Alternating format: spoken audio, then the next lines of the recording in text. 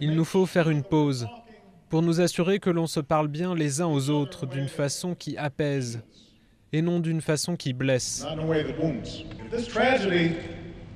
Si cette tragédie doit déclencher une réflexion et des débats, comme cela se comprend, faisons en sorte que cela fasse honneur à ceux que nous avons perdus.